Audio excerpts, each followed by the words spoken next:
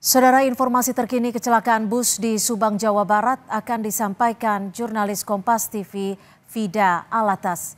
Vida, adakah temuan lainnya dari pihak kepolisian usai melakukan olah TKP susulan Vida?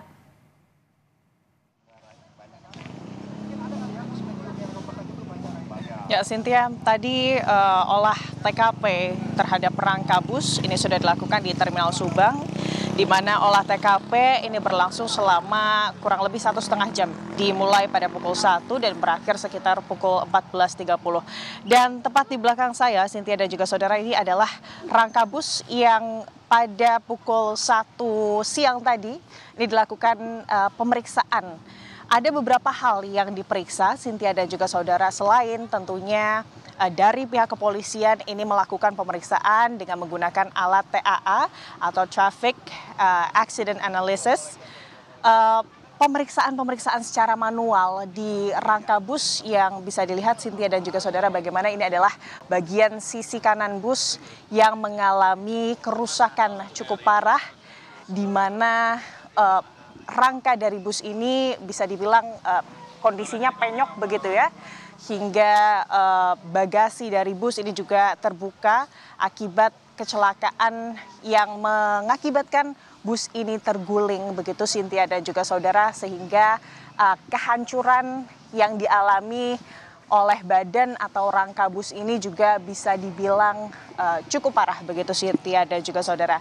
Tadi Cynthia uh, pemeriksaan ini dilakukan oleh pihak kepolisian, baik itu dari uh, Korlantas Polri dan juga ada Gakum di Atlantas Polda.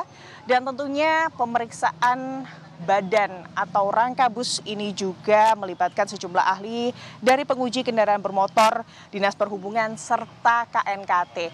Yang menjadi fokus untuk pemeriksaan manual adalah terkait sistem pengereman atau teknis pengereman dari bus ini. Lalu juga selain sistem uh, pengereman yang diperiksa juga ini adalah sistem perlampuan dan juga sistem kendali. Namun memang Sintia dan juga saudara berdasarkan keterangan dari KNKT yang menjadi fokus utama pemeriksaan di siang hari tadi ini adalah terkait sistem pengereman dari bus. Karena kita tahu bersama Sintia dan juga saudara berdasarkan keterangan sementara yang diberikan oleh pengemudi bus atau sopir supir bus uh, yang hal yang menyebabkan kecelakaan yang terjadi pada Sabtu sore kemarin ini adalah uh, terjadinya rem yang blong begitu ya sehingga ini yang menjadi fokus dari KNKT untuk kemudian menyesuaikan apakah keterangan yang diberikan oleh pengemudi bus ini sesuai dengan fakta di lapangan dalam hal ini fungsi pengereman yang ada di bus. Dan Cynthia dan juga saudara tadi kami juga sempat berbincang dengan Ketua KNKT Pusat yang juga menyoroti bagaimana ada perubahan spek atau diduga ada perubahan spesifikasi dari bus pariwisata ini di mana bus ini ada kemungkinan dilakukan peninggian atau uh, tinggi bus ini ditambah begitu ya Cynthia dan juga saudara. Nah ini juga yang dijadikan uh, fokus oleh pihak KNKT karena memang uh, ada kemungkinan perubahan spek dari bus ini bisa mempengaruhi stabilitas dan ini yang akan didalami lebih lanjut dan juga uh, selain itu perubahan spesifikasi bis ini uh, selain mempengaruhi uh, stabilitas atau tidak masalah kerangka bis ini juga disoroti bagaimana sebetulnya Cynthia dan juga saudara berdasarkan keterangan dari KNKT fungsi dari kerangka bis jika kemudian terjadi kecelakaan atau bis ini sampai terbalik seharusnya ini akan melindungi para penumpang yang ada di dalam bis. Namun kalau kita melihat kejadian pada Sabtu sore kemarin Cynthia dan juga saudara rusaknya kerangka bis ini justru menyebabkan uh, korban jiwa begitu ya, di mana uh, kemudian kerangka yang penyok begitu ya, ini akhirnya malah bukannya melindungi uh, penumpang begitu, justru malah uh, menyebabkan penumpang luka-luka. Inilah yang kemudian uh, diperhatikan atau menjadi fokus juga dari pihak KNKT dan tadi juga pihak KNKT uh, sempat menyinggung bahwa perlunya ada sistem yang uh, menjamin keamanan. Fida kendaraan publik begitu Cynthia. Ya, Vida, Anda tadi menyebut ada temuan bahwa bus ini sudah dimodifikasi.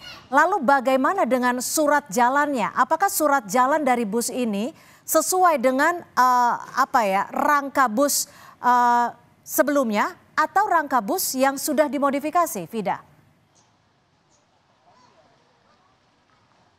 Oke, modifikasi bus ini masih uh, sebatas dugaan Cynthia dan juga saudara yang diberikan atau berdasarkan keterangan yang diberikan oleh KNKT ada dugaan bahwa bus ini memang dimodifikasi. Dan terkait bagaimana kemudian surat jalan dan lain sebagainya Cynthia dan juga saudara ini juga lah yang nanti akan terus didalami oleh pihak kepolisian dan juga mungkin pihak KNKT uh, bersama dengan pihak KNKT yang nanti akan juga diperiksa tidak hanya kemudian uh, pengendara atau supir bus, lalu juga korban, tapi Sintia dan juga saudara proses investigasi dari uh, kecelakaan bus yang terjadi pada Sabtu sore di uh, Ciater Subang ini, ini juga akan melibatkan uh, perusahaan penyedia jasa bus. Dan tadi Cynthia dan juga saudara yang sangat digarisbawahi oleh pihak kepolisian dan juga KNKT.